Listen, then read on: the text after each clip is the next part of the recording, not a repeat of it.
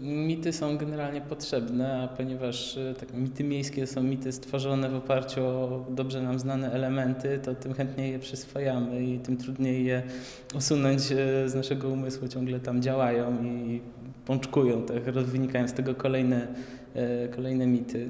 Wydaje mi się, że generalnie człowiek ma, ma w sobie jakąś taką potrzebę tajemnicy, czegoś, czego nie do końca rozumie, a takie mity miejskie z reguły na czymś takim bazują, albo pojawia się jakiś tam element horroru, thrillera, coś, coś niewyjaśnionego, dziwacznego, tajemniczego i w, dzięki tej, tej właściwości ludzie zaczynają przez ten filtr patrzeć na dobrze znane im miejsca, odkrywać ich drugą stronę, która też istnieje.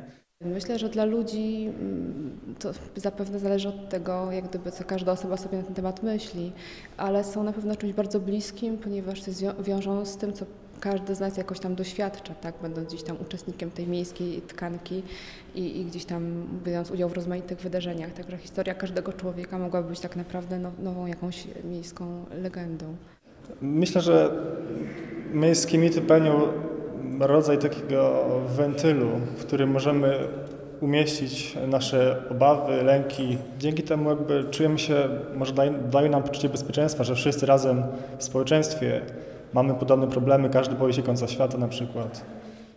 Może nie możemy znieść tego, y, że wszystko jest takie funkcjonalne, wszystko jest wytłumaczone, możemy sprawdzić na Google'ach, co jest prawdą, w Wikipedii. Wszystko jest wyprodukowane przez maszynę i ma służyć pewnym celom określonym w instrukcji. Może potrzebujemy jakoś odreagować mm, taką płaskość rzeczywistości.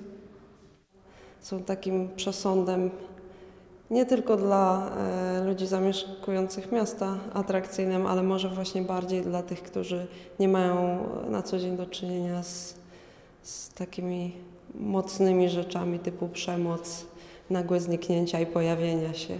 Każdemu polecam, e, kto e, chciałby się zapoznać z kilkoma miejskimi legendami, przejście się do baru Rio na Świętego Jana. Myślę, że każdy obecny tam mężczyzna sączący małe cappuccino e, będzie w stanie powiedzieć kilka rzeczy, które go przeraziły, względnie które zapamiętał.